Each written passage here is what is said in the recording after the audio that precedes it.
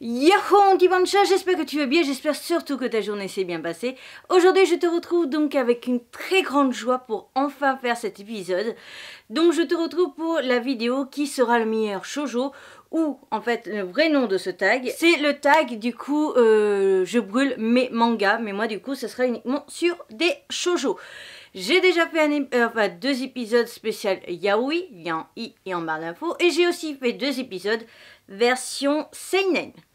Shonen, je n'en ai pas fait parce que je n'ai pas... Euh, enfin, je ne lis pas beaucoup de shonen, j'en ai lu très très peu. Yuri, ça pourrait être à faire, si vous me le demandez, mais j'en ai pas lu encore beaucoup. J'aimerais d'abord lire quand même euh, les deux dernières séries de Taifu, donc Octave et euh, Citrus. Et une version hentai devrait pas tarder à arriver sur la chaîne donc Ibi Otaku Hentai. Voilà, pour ceux qui ne savaient pas, il y a une chaîne 100% hentai. Donc le principe de cette vidéo c'est simple. Je vais piocher dans mon petit bol avec les, noms préalablement écrits sur les petits papiers. Le même stylo, la même écriture, la même journée. Voilà. Et donc je vais piocher deux titres, dire si je garde ou si je brûle le titre. Et expliquer un petit peu pourquoi je garde ou je brûle. Ce que je brûle finit dans cette petite poubelle Hello Kitty. Ce que je garde finit dans ce petit bol vert, car on fera un deuxième épisode. Voilà, comme les autres fois où j'ai fait aussi deux épisodes. Même si la version CNN, il y a trois épisodes. Il y en a un qui est caché dans le i du deuxième. Voilà, je dis ça, je dis rien. Mais tu aurais la maxi battle. Donc, j'ai mis tous les titres à côté de moi dans l'ordre des maisons d'édition. Ce que je n'ai pas au niveau des volumes, c'est que je ne les ai pas gardés, je les ai revendus. Des fois, très sincèrement, débilement. Voilà, j'aurais pas dû les revendre. Mais en ce moment, j'essaie de revendre beaucoup de mes mangas ou de mes affaires pour financer du coup quelques vidéos YouTube, etc. Donc, euh, bah, j'ai pas eu le choix en fait. J'aurais voulu en garder certains. Mais bon, toujours est-il. On attaque donc. Alors, je vais mélanger, même si j'avais déjà mélangé, j'avais pas mis les titres forcément dans un ordre très précis. Ah bah, il y en a deux qui sont mélangés entre eux. Enfin, ils sont coincés entre eux. On va commencer avec Gear. Ah, j'en ai deux. Merde. on va, J'ai fait tomber l'autre parce qu'en fait, j'avais aperçu déjà le nom. Et Gear Browser, en fait. J'avais mis dire, mais c'est Gear Browser. Contre Daytime Shooting Star.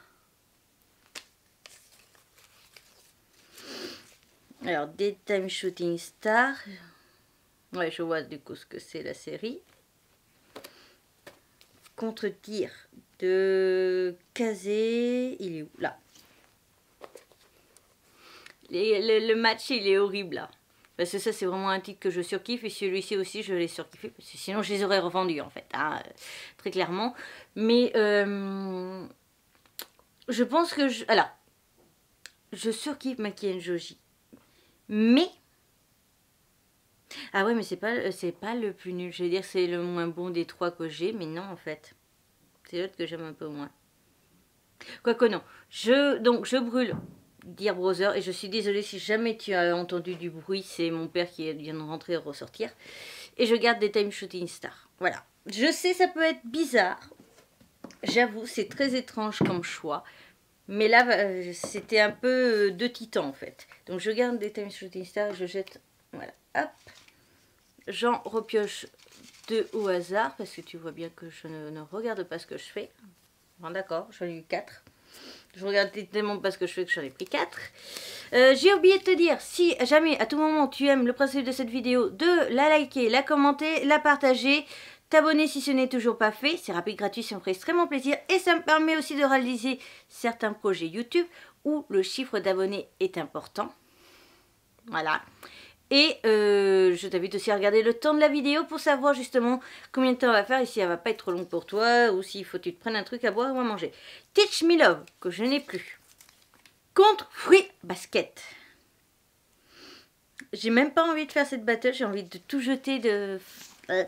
Donc, j'ai encore Fruit Basket, je t'ai pris le tome 1 là, euh, de la nouvelle édition pour pas te perturber. Moi j'ai l'ancienne aussi. J'ai que le tome 1 de la nouvelle, faudrait que j'achète les autres.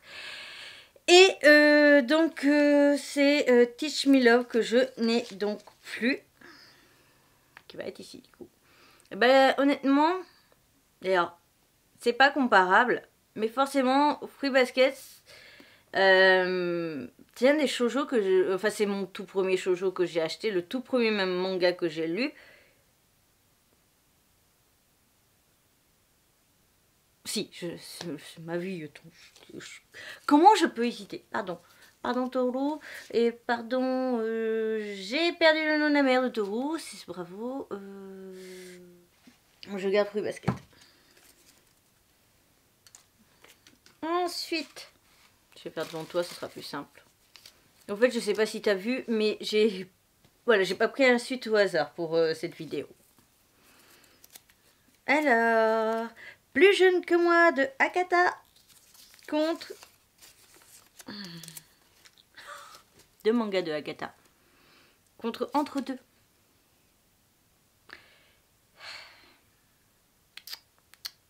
Pourquoi j'ai mis entre deux alors j'avais dit dans ma vidéo que je considérais que c'était pas un shoujo?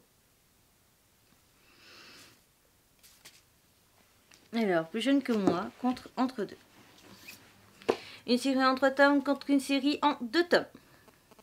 Donc je suis désolée, j'ai été interrompue par ma maman qui m'a appelé pour me dire qu'elle rentrait.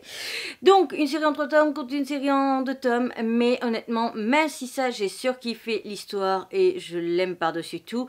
Entre deux est vraiment badass parce que vraiment il apporte beaucoup de choses. Il y a un message, enfin il y a plusieurs messages à l'intérieur et j'ai vraiment surkiffé. Mais ça me fait mal au cœur parce qu'en plus c'est un titre de kata. C'est reparti pour un tour. On va essayer de les remélanger. Voilà, bon, bah, il y en a un qui est tombé. Donc, c'est parti avec ouf, Soralog, ok, le soleil.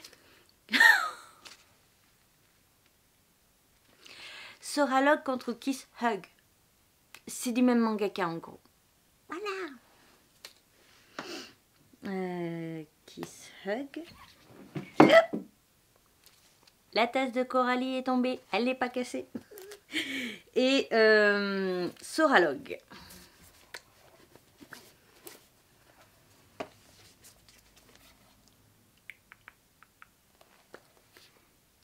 Bah, honnêtement, je sais pas du tout. Et je me suis même pas mis de joker en début de vidéo pour savoir du coup si, euh, si je pouvais du coup repiocher un truc et jeter un truc ou autre. Donc je vais te dire au hasard presque. J'ai Ouais, je dirais celle-ci. Ouais, on va dire celle-ci tout simplement parce que déjà je suis sûre qu'il fait le principe que les couvertures, on voit vraiment une image vraiment très shoujo pour nous faire plaisir. Mais en fait, voici la vraie réaction du personnage. Voilà. Et j'ai vraiment apprécié, il y avait vraiment des choses assez fun, marrantes. Alors, je suis assez floue parce que ça date d'il y a très, un, très grand moment. Je ne sais même plus être français. Mais euh, je garde Kiss On va essayer de faire comme ça, même si euh, j'avais pas du tout envie de jeter ça. Donc ce qui est marrant, c'est qu'on a eu du coup un duel de maison d'édition, euh, la même maison d'édition, et j'ai eu un duel aussi de deux titres d'un même auteur. Vraiment que j'en ai pas d'autres, pas beaucoup. Ah si, j'ai Maki Joji, c'est le titre de Maki Joji. Inséparable des éditions Panini. Contre Prince et Héros. Facile alors, inséparable contre prince et héros. Alors, on va avoir donc du coup inséparable, une série en 10 tomes, euh, Prince et héros, une série en 3-4 tomes, enfin une série très courte. Prince et héros, il y a pas mal de, messages cachés dans cette série, c'est vrai. Mais là, on va être sur une amour entre justement deux meilleurs amis d'enfance. Euh, des voisins plus amis d'enfance et... Euh, j'ai un gros fait pour ce genre de scénario-là. Les amis d'enfance, les meilleurs amis d'enfance, comme du coup SOS Love, etc. Donc je vote pour cette série. En plus, plus développée avec un, euh, scénario plus intéressant. Ça, c'est un peu plus, euh, je vais pas dire immature, mais c'est plus pour un public genou, on va dire, jeune. Hein, voilà. Donc je prends Inséparable. Et puis j'ai vraiment surkiffé Inséparable. Que je fasse pas de bêtises, voilà. On est reparti avec cette fois-ci Stand By Me Love Letter de Akata. J'avais peur en fait que Stand By Me Love Letter soit contre Or Summer Holiday. Non, c'est bon. Be My Slave. Je l'ai pas eu. Ah non, d'accord. Pourquoi Je je sais pas. Donc, bah là, ça va être un petit peu facile. Hum, je suis désolée. Mais je vais prendre euh, My, euh, Stone by Me Love Letter, pardon. Parce que tout simplement, on nous montre vraiment euh, une relation, enfin un shoujo différent, même si ça aussi, hein, vu qu'il y a du jeu euh, charnel, etc. Enfin, du jeu un peu comme euh, Mission ou des trucs comme ça, tu vois. Mais Stone by Me Love Letter, ce que j'ai aimé, c'était justement au départ, la les deux. Enfin, le garçon est amoureux de la fille, mais la fille ne le connaît pas. Et c'est et c'est après, en le connaissant, en le découvrant, qu'elle se pose des questions. Pourquoi je ressens certaines choses envers lui? Pourquoi si Pourquoi ça? Et c'était vraiment très intéressant à lire. Donc je garde celui-ci, sachant que c'était le One Shot Shoujo du printemps 2019 de euh, Akata. Donc c'était il n'y a pas très très longtemps que j'ai fait la vidéo. Il y a moins d'un an. Ça c'était aussi un très bon manga, mais bon, faut choisir. Donc on a un baiser à la vanille que je n'ai plus. t'es content de revendre tes mangas. Contre Blue Spring Ride. Et eh ben ça va être très simple. Blue Spring Ride, donc contre, on a dit, euh, un baiser à la vanille. Un baiser à la vanille est un manga, si je dis pas de bêtises, en 4 tomes. Blue euh, Spring Ride était un manga en 13 tomes. Et je vais favoriser Blue Spring Ride parce que plus de scénarios, plus intéressant, plus collé à moi. Euh, à vanille était mignon, mais voilà, je viens de le dire, il était mignon. Alors que ça, c'est autre chose. Donc, je garde Blue Spring Ride. Et d'ailleurs, tous ces mangas-là, tous, absolument tous, ont été présentés en vidéo. Donc si ça t'intéresse, je vais essayer, mais maintenant on est limité au niveau du texte dans la barre d'infos. J'essaierai de te mettre... Oh, je peux te mettre aussi un commentaire épinglé. Je te mets ça dans un commentaire épinglé, parce que je sais très bien que la barre d'infos, vous la regardez jamais. Donc, un baiser à vanille. Au revoir Donc, c'est reparti. J'en ai deux. Ben, J'en ai trois, du coup, donc je repose un. Tue-moi plutôt sous un cerisier des éditions Akata et je l'ai relu euh, je l'ai relu en fait en allant à Nantes, quand j'y suis allée en, novembre. pardon. Et Dear Brother, alors c'était quoi Dire tout court? Dire et Dear Brother. Ah J'ai pas pris le titre Ah d'accord, je viens de. L'autre c'était un une œuvre de cet auteur-là, donc du coup de Kako Mitsuki, qui a fait euh, les deux autres mangas qui étaient en battle. Il y avait quatre titres au total, donc c'est pour ça. Donc du coup, entre euh, Tue-moi plutôt sous un cerisier et le manga Dire, du coup, qui est de Kako Mitsuki, je vais garder Dire de Kako Mitsuki et je vais brûler euh, Tue-moi sous un cerisier. Pourquoi? Parce que, au fond, donc One Shot Shoujo la rentrée 2017 pour ceux que ça intéresse. Au fond, il est sympa, il y a quelque chose de particulier, il change complètement de ce qu'on a l'habitude d'avoir. Ben justement, je vais le garder en fait. je viens de me rendre compte qu'en lançant mes arguments, je préfère celui-là et euh, je t'ai euh, du coup dire quand même. Voilà, je l'avais repêché en me disant peut-être, mais non. Alors, c'est reparti. On va essayer de les mélanger encore. Toi et puis... Oh, toi. Je sais pas ce que c'est. Romantic Memories. Est-ce que je l'ai encore celui-là? Non, je l'ai plus. Contre Orange de Akata. Oui, parce qu'il y a un autre orange qui existe et je crois que c'est un Ichi ou un truc comme ça. C'est pour ça que je tiens à préciser. Eh ben, le résumé va être court, hein. euh, même si euh, Romantic Memories était plutôt sympa. Je vérifie si je l'ai pas, mais apparemment non. Et eh ben je préfère quand même euh, Orange, hein. il y avait vraiment un scénario intéressant. Le personnage principal, je me suis retrouvée quand même pas mal dedans. Donc je vote pour Orange. C'est reparti pour un tour. 1, 2.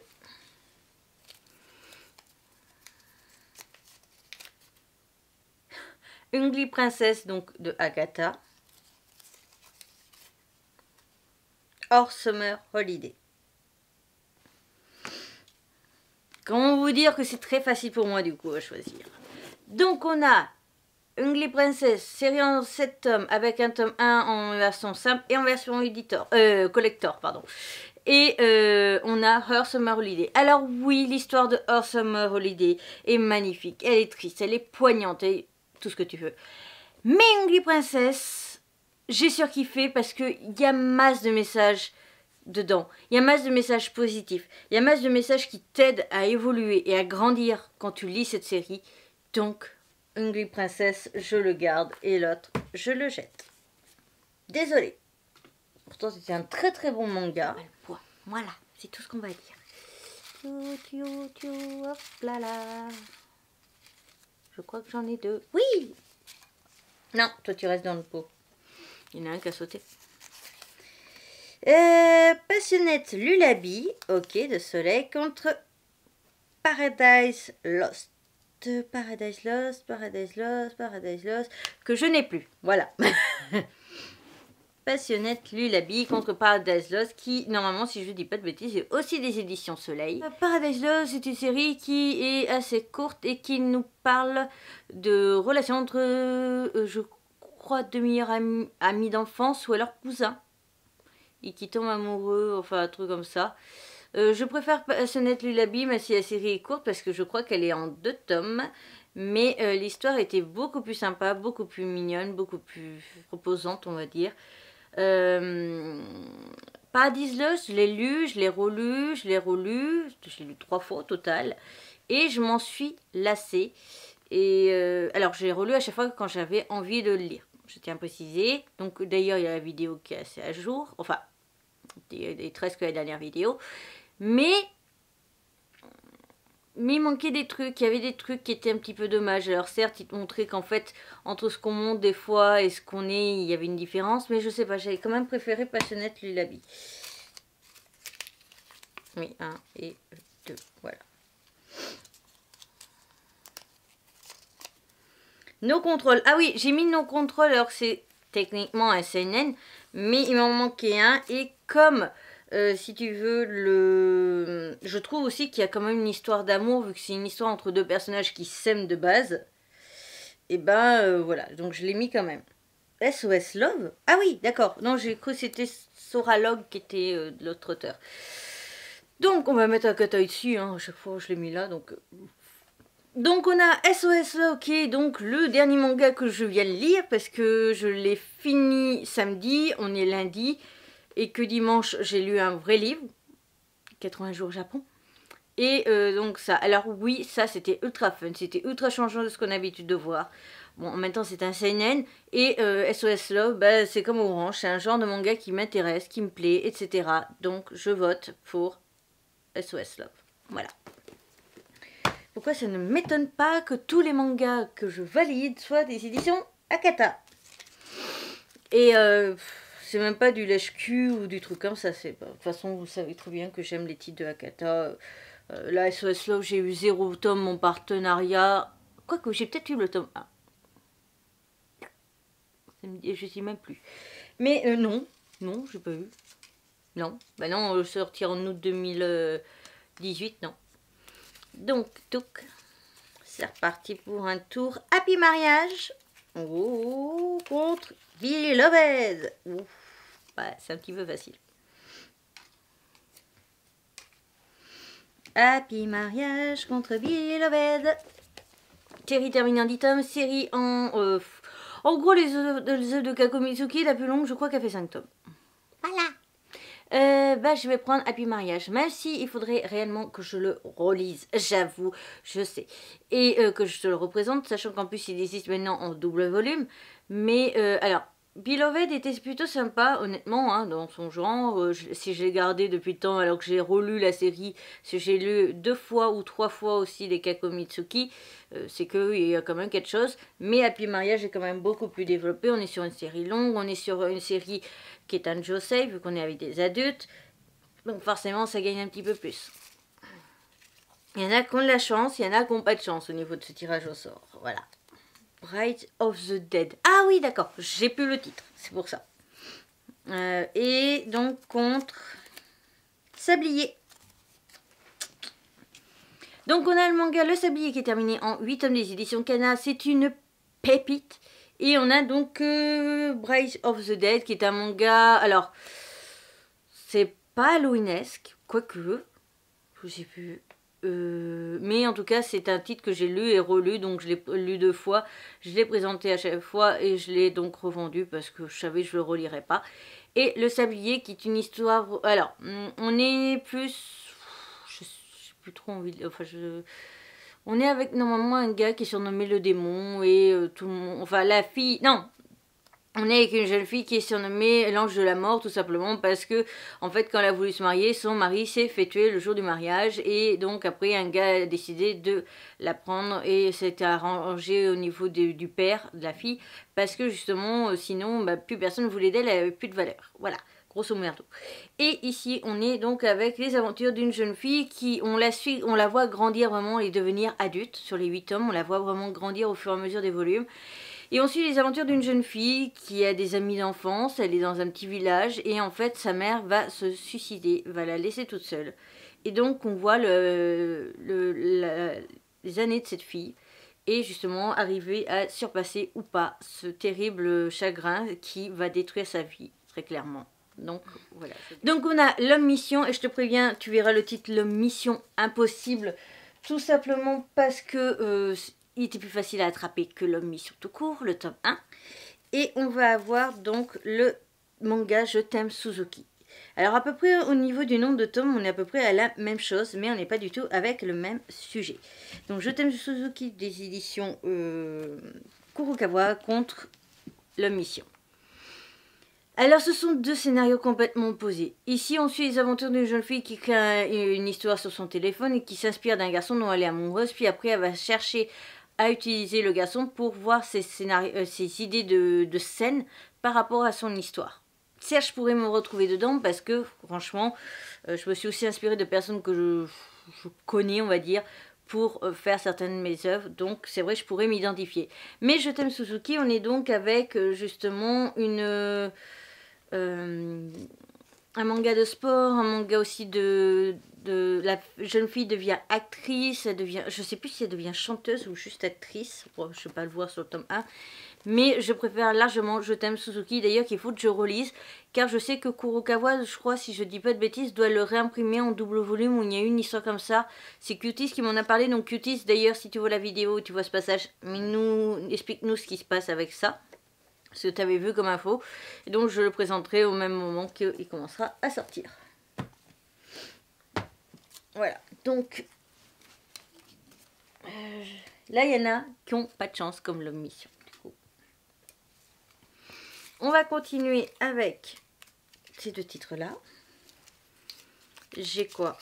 Herbits contre I'm a Only Wolf. Oh, bah ça va être facile ça encore. I'm the Only Wolf contre Herbits. Donc en ce qui concerne ce, euh, cette battle, bah, ça va être très simple. Euh, alors je me rappelle que vaguement de mon avis sur ces deux séries. Donc c'est pour ça que ça va aller très vite. Je garde Herbit. Parce que je sais que mon avis était meilleur que I'm Only Wolf. I'm Only Wolf, honnêtement, je crois que je l'ai lu qu'une fois. Donc j'envisage de le relire. Et une fois que j'aurai relu, ça c'est clair et net que je vais le vendre. Moi, ce que j'en sais en tout cas. Alors que lui, je sais très bien que je le revendrai pas. Il y a des mangas où c'est plus récent et plus ancien dans ma tête. Et je n'ai pas re-regardé mes vidéos pour pas être trop influencée, pour que ça soit vraiment de ce que je m'en rappelle. Voilà. Donc, ensuite, on va avoir Rouge Eclipse de Akata. Hmm. Contre Too Bad I'm in Love, que je n'ai plus parce que c'est euh, Cuties d'ailleurs qui a récupéré la série. Est-ce que tu as déjà toi-même deviné ce que j'allais choisir? Je crois que oui. Hein est-ce que j'ai besoin d'expliquer? Donc, en ce qui concerne Too on est avec une série euh, où on a deux jumelles. Une qui a tout le temps la poisse, personne veut d'elle, personne n'est amoureux d'elle. À chaque fois qu'on doit la sélectionner, c'est tout en dernier. Et euh, donc, du coup, elle passe son temps à croire que quand il y arrive quelque chose de positif, il y a toujours quelque chose de négatif qui arrive pas derrière. Chose que j'ai énormément aimé au tout début du manga parce que je me suis identifiée. Sauf que ce côté, ce principe est très très vite abandonné pour la romance. Ce qui est donc une chose qui m'a déçue. Tout à l'heure on était interrompu par le coup de fil de maman et maintenant on a eu maman qui vient de rentrer. Donc pour ce qui est de Touba Danilo j'ai été donc déçue Par contre, pour ce qui est de Rouge Eclipse, on suit les aventures donc de jeunes filles. La fille super gentille, super belle, et la fille super moche, super méchante. Et donc, en fait, la fille super moche, enfin, histoire de... Hein, euh, du coup, euh, utilise l'éclipse rouge pour inverser de corps et atterrir dans le corps de la fille super belle. Mais en fait, il prouve, le manga nous montre que même si tu es belle physiquement, si à l'intérieur ton âme est dégueulasse, eh ben les gens te tourneront quand même le dos. Et que même si tu es super moche, comme moi, et eh bah tu... Euh, oui, je me considère moche, hein, c'est pour ça que je le dis. Et eh bah tu peux euh, avoir une âme super belle. Et donc finalement, les gens t'adorent parce que justement, ton âme est géniale. Et c'est ça qui est super beau dans ce manga, c'est justement que ça nous montre que l'apparence extérieure, ce n'est que du détail. Voilà Allez, on est presque, on est presque à la fin, même si je vois qu'il me reste encore beaucoup de, d'ailleurs de, je vais y arriver. Donc on est presque à la fin, mais si je vois quand même qu'il me reste pas mal de, bouquins, c'est un peu bizarre. J'ai l'impression que j'ai dû oublier des titres. Me, Myself and Him, de Pika. Je le mets là comme ça. Et, oui, ouvrir euh, ça avec une main, c'est pas pratique. Blue de Kazé. Oh, bon, c'est facile.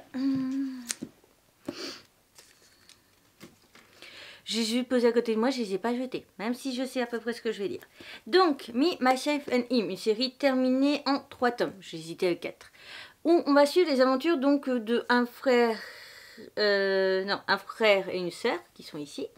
Et en fait, euh, donc au moment d'avoir un rendez-vous amoureux avec le garçon dont elle est amoureuse, le frère et la sœur vont avoir un accident et vont donc permuter. Donc la jeune fille dans le corps de son frère et le frère dans le corps de la, euh, de la petite sœur. Et donc on va être sur une histoire d'amour et le fait que, ben euh, voilà, il y a euh, le coup amusant du frère et la sœur qui doivent inverser leur rôle et le grand frère qui est donc obligé d'avoir les rendez-vous amoureux avec l'amoureux du coup de sa petite sœur. Mais en même temps il y a un côté très protecteur, il veut pas trop laisser sa petite sœur... Euh, voilà, il n'y a pas de brother complexe ou autre, mais c'est vrai qu'il y a quand même un côté très protecteur, très attachant. D'ailleurs, il faudrait que je le relise. Euh, faut que je regarde quand date la vidéo. Mais euh, voilà, donc j'ai vraiment adoré. Et on a Blue qui est en 8 tomes. Ouais, entre 3 et 8 tomes, il y a quand même une différence de 5 tomes. Où on a vraiment une histoire magnifique. D'ailleurs, je te l'ai représentée il n'y a pas très très longtemps. C'est une histoire géniale où on nous montre justement que bah, des fois, on, là c'est euh, quatre meilleurs amis, donc deux garçons, deux filles.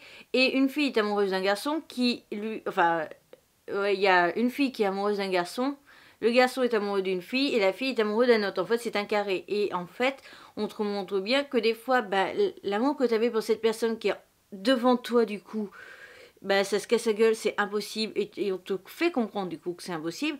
Et des fois, te retourner pour regarder la personne qui est amoureuse de toi, peut-être peut faire quelque chose que, où justement, tu vas être heureux avec cette personne-là. C'est sûr, c'était pas la personne que tu avais choisie au tout début, mais des fois cette personne-là, autre, va mieux te convenir. Et donc ça, c'était quelque chose vraiment de très intéressant et j'ai su apprécier parce qu'il y avait une fois de plus un message, alors que là, on était juste pour de la détente. Mais je l'ai quand même suffisamment adoré pour le garder et je crois moi, je vais pas tarder à le relire. Faut que je regarde quand même de quand date ma vidéo. Donc je garde quand même Blue. Ça m'embête parce que c'était vraiment un shoujo que j'adorais. De toute façon, si je l'ai gardé, je pense que tu as compris. Euh, voilà. Donc là, je t'ai vraiment présenté, je le redis, mais que des titres que j'ai aimés et pas des titres que euh, c'était moyen, où j'ai revendu, où j'ai détesté. Quoi. Voilà. Alors, Sensuel Love Affair, ok, de Soleil. Mais il manque des papiers, hein, c'est pas possible. Hein. Compte Night Café. Et eh ben, ça va être vite fait. Night Café des éditions Kazé et surtout de Maki Njoji, donc c'est café Dear Brother et Happy Mariage, contre Sensuel Love Affair, qui est, si je dis pas de bêtises, voilà, un recueil d'histoires courtes. Et eh ben même si j'aime ce manga parce qu'il nous met quand même à chaque histoire courte un message, et c'est pour ça que je l'ai gardé parce que je l'ai relu trois fois, je crois, depuis que je l'ai. Lui, je l'ai depuis un moment parce que je l'ai depuis euh, été 2015 ou c'est, je sais plus, quand je suis allée à Albi, Casrim et tout ça. Et euh, Night Café, par contre, c'est un manga qui, lui, a un message. En fait, on a une jeune fille que l'on voit à l'arrière, qui, euh, donc, était en couple avec un vieux. Et le vieux est mort. Voilà, une personne un peu plus âgée qu'elle. Et le vieux est mort. Et en fait, elle hérite d'un café.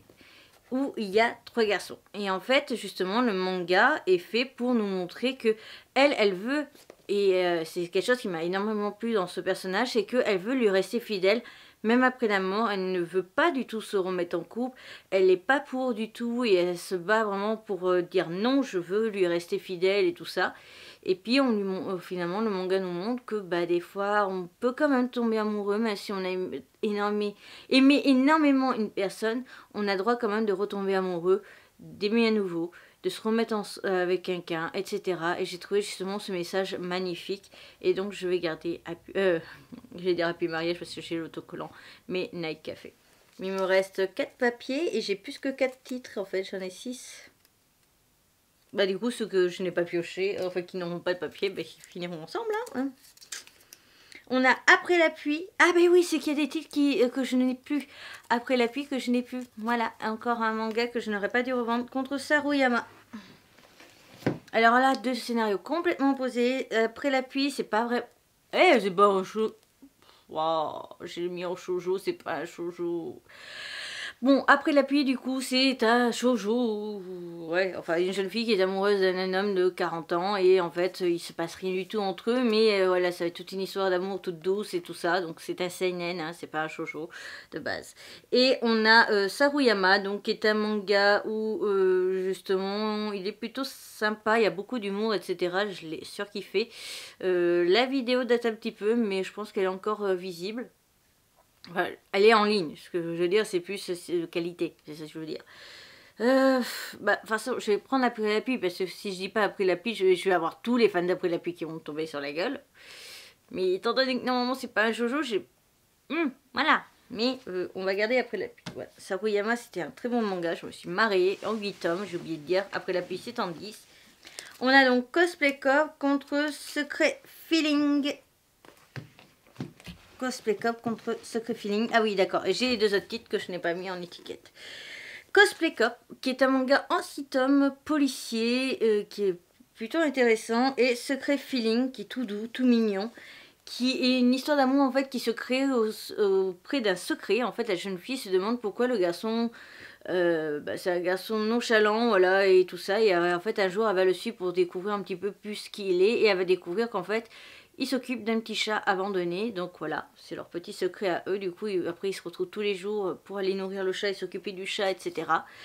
Et on a Cosplay Cop qui est un Josei où on suit les aventures donc d'une jeune policière qui a des amourettes, qui ça se passe bien, ça se passe mal, etc. Euh, donc ça, je, je, suis assez floue aussi, je me permets d'être assez floue parce que ma vidéo elle est pas très très vieille. Là je crois que je l'ai lu cet été ou l'été dernier grand maximum. Voilà. du coup, Cosplay Cop était génial. Euh, voilà. Après, il y a pas mal de, messages aussi en avant de faire attention à certaines choses, etc. Donc j'ai vraiment, vraiment apprécié ce manga. Et dire que je vais devoir faire l'épisode 2. Oh putain. Donc on a Lear Prince and Fake Girlfriend de Soleil en 400 tomes, 4 tomes je crois. Et on a euh, Don't Worry Be Happy en 4 tomes. Euh, tout, tout, tout. Alors, hier Press on Fake Girlfriend, j'avais bien aimé parce que justement, ils nous montraient que les apparences pouvaient être très, très, très trompeuses. Et c'était plutôt sympa. Il y avait vraiment pas mal de messages. Pour une fois, un titre euh, qui a des messages cachés, etc. J'ai vraiment adoré. Euh, donc voilà. Mais euh, Don't Worry Be Happy, j'ai vraiment apprécié parce que justement on était sur un shoujo qui changeait un petit peu de ce qu'on avait l'habitude de voir. Car on est avec, si je dis pas de bêtises, des trucs du conseil des élèves. Donc en fait, voilà, vice-présidente et le président du conseil des élèves. Et donc, on suit les aventures de euh, une relation de couple, etc. Enfin, un amour, une romance et tout ça. Mais avec les personnages de, enfin, de conseil des élèves. Donc, ce ne sont pas des élèves standards. Donc, déjà, rien que ça, le scénario est forcément tout à fait différent. Parce qu'ils vont avoir des réunions, des organisations à faire, etc. que les élèves standards n'auraient pas. Donc, forcément, le shoujo complètement changeant d'habitude m'intéresse plus. Voilà, donc ça y est, c'est fini avec cette vidéo qui aura été très très dur à faire. La vidéo est donc à présent terminée, j'espère de tout mon cœur qu'elle t'aura plu, si c'est le cas je le redis, mais n'hésite pas à faire péter les petits pouces positifs, n'hésite pas à donc liker, commenter la vidéo et me dire du coup toi les battles, euh, quelle euh, réponse tu aurais donné différemment par rapport à moi et le pourquoi. Comme ça, ça me permettra de comprendre un peu plus ton choix. Je te retrouve donc très rapidement pour la suite que moi je vais sûrement filmer là dans la semaine de toute façon. Comme ça les, mangas ils restent là. Et je te retrouve donc bientôt pour une nouvelle aventure. Bye Et n'oublie pas de sourire quoi qu'il arrive. Bye bye